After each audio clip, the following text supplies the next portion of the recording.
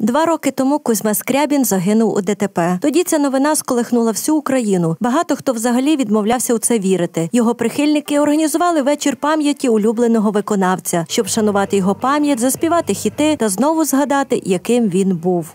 Ця людина зробила дуже вагомий внесок в наше життя, і він, е, він допомагає нам жити. Його пісні допомагають нам жити.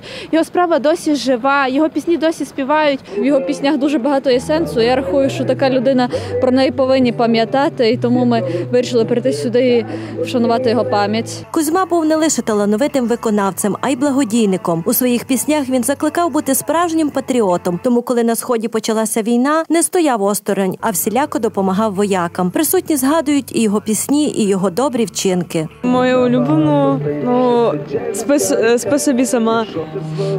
Часом буває так, що хочеш почути речі, яких ніколи б не знати. Він не хотів ніякої віддачі, він робив це все від душі і від серця. Людей на акцію зібралося не так уже й багато з огляду на дощову погоду, але вони є. Шанувальники запалюють лампадки, разом співають його пісні та покладають квіти до його фотографій. Сам Кузьма не боявся висловити гострого слівця на адресу чиновників, зокрема і в останньому зверненні до них, яке записав напередодні трагедії 1 лютого 2015-го, на тій самій дорозі, де і трапилася страшна аварія. 95% доріг України із-за вас, дядьки, в такому стані.